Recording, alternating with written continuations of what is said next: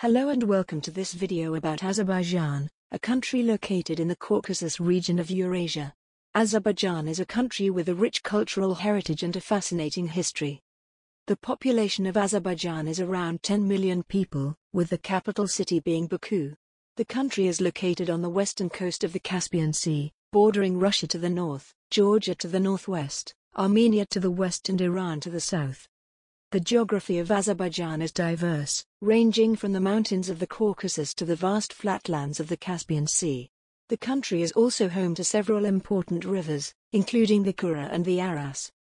The economy of Azerbaijan is largely based on its oil and gas reserves, with the country being one of the largest oil producers in the world.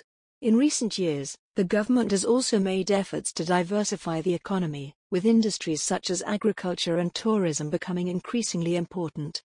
The history of Azerbaijan is long and complex, with the country being ruled by various empires and kingdoms throughout the centuries. In the 20th century, Azerbaijan became a part of the Soviet Union, before gaining its independence in 1991. Today, the country is known for its unique culture, including its music, literature, and art.